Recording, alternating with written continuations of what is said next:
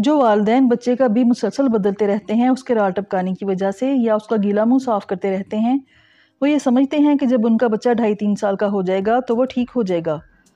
और इस तरह होता भी है, क्योंकि बेबीज़ अक्सर अपने दांत निकालने की वजह से ही राल टपकाते हैं। या जब वो मदर फ़ीड पर होते हैं तो माँ अगर स्पाइसी खाना खाए तो बच्चा राल टपकाता है, या बच्चे को दूध पिलाने के बाद डकार ना दिलाया जाए तो भी बच्चा राल निकालता है। गला ख़राब होने से, कान की इन्फेक्शन होने से या नाक बंद होने से भी बच्चा राल टपकाता है, लेकिन ऐसा हर केस में नहीं होता। अगर बच्चा तीन साल का हो जाए या उससे बड़ा हो जाए और उसकी राल बहना बंद ना हो तो ये तशवीशनाक बात भी हो सकती है।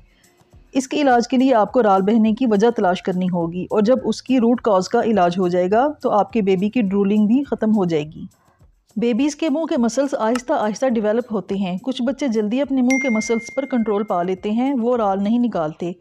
और कुछ को ज़्यादा टाइम लग जाता है और वो राल टपकाना शुरू कर देते हैं। गला ख़राब होने की वजह से भी बच्चे की राल बहना शुरू हो जाती है। अगर बच्चे के नाक में दूध बढ़ जाए या बच्चे का नाक अक्सर बंद रहे और बच्चा मुँह से सांस लेता रहे और उसका मुँह हर वक्त खुला रहे तो भी राल बहना शुरू हो जाती है। नन्हे बच्चों के मुँह में अक्सर छाले निकल आते हैं, ये भी राल बहने का सबब बनते हैं। अगर आपका बेबी बहुत ज़्यादा राल निकालता है या वो दो साल से बड़ा है और उसकी राल बहना नहीं रुक रही तो मेरी बताई गई टिप्स को फॉलो करें। जो मैंने वीडियो में बताई हैं, आपको इनका बहुत अच्छा रिज़ल्ट मिलेगा। अगर आपका बेबी सोते में बहुत ज़्यादा राल निकालता है तो इसके लिए वाटर प्रूफ पिलो कवर इस्तेमाल करें।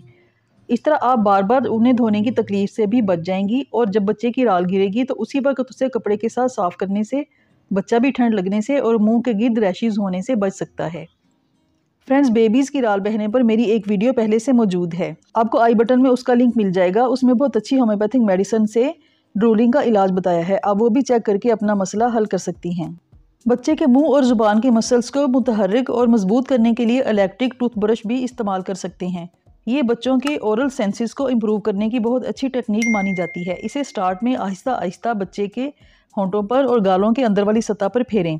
फिर दांतों, मसूड़ों और ज़ुबान की तरफ़ लाएँ। इससे बच्चे के मुँह के पट्ठों की हरकत बेहतर होती है, उसे मुँह पर कंट्रोल होता है और वो अपने थूक को रोककर निगल सकता है। अगर आपका बच्चा फीडर से दूध पीता है तो इसे आहिस्ता आहिस्ता पहले सिपी कप से दूध पिलाने की तरफ़ लाएँ। जब वो सिपी कप इस्तेमाल करना सीख जाए तो फिर स्ट्रॉ की तरफ़ लेकर जाएँ। स्ट्रॉ का इस्तेमाल करने से बच्चा अपने होंठों की मूवमेंट को कंट्रोल करना सीख जाता है और इस तरह राल बहने पर भी कंट्रोल सीख सकता है। अगर आपका बच्चा चूसनी लेता है तो इसे छुड़वा दें या कम अज़ कम उस वक्त बच्चे को दें, जब बच्चा बहुत ज़्यादा ज़िद कर रहा हो। चूसनी का ज़्यादा इस्तेमाल बच्चे के बोलने और मुँह के पट्टों पर कंट्रोल करने की सलाहियत पर बुरा असर डालता है। लेकिन अगर बच्चा बहुत रो रहा हो, उसको उस वक्त चुप कराने के लिए दे दें और ग्रेजुअली इसे कम करते जाएँ।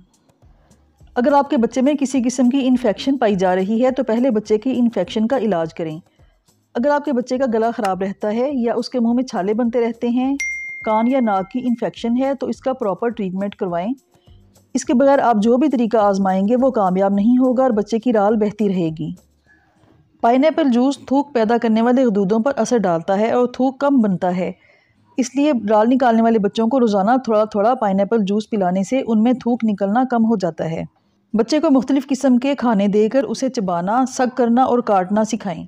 स्ट्रॉ और सिपी कप का इस्तेमाल सक करना सीखने में बच्चे की मदद कर सकता है।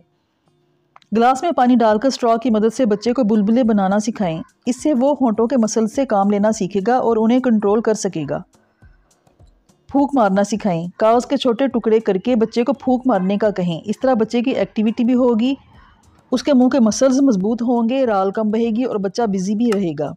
बच्चा जितनी ज़ोर से फूक मारना सीखेगा, उसे अपने मुँह पर उतना ही ज़्यादा कंट्रोल होगा और अपनी राल पर काबू पाना सीखेगा।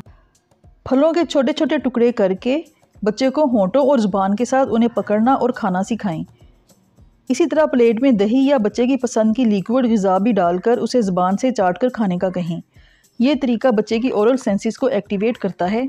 उसके मुँह के मसल्स को मज़बूत करता है और मुँह के मसल्स इस्तेमाल करने का तरीका सिखाता है। अगर ये सब कुछ करने के बाद भी बच्चे की ड्रूलिंग कम नहीं हो रही तो देखें कि बच्चे में क्या फ़िज़िकल इशू आ रहा है। उसकी नींद डिस्टर्ब है या वह मुँह से सांस लेता है या उसकी नाक बंद है तो इन तमाम इश्यूज़ को हल करने के लिए मेरे चैनल पर बच्चों के तमाम मसाइल की वीडियोस मौजूद हैं। नीचे डिस्क्रिप्शन में बच्चों के मसाइल की प्लेलिस्ट मौजूद है। उस पर जाकर आप अपने बच्चे के मसले के हल के लिए अच्छा सोल्यूशन जान सकती हैं। फ्रेंड्स मुझे उम्मीद है कि ये तमाम टिप्स आपके प्रॉब्लम को ज़रूर हल करने में मदद देंगी। अगर आपको मेरी वीडियो अच्छी लगी हो तो इसे लाइक और शेयर करें और मेरे चैनल को भी सब्सक्राइब करें। शुक्रिया।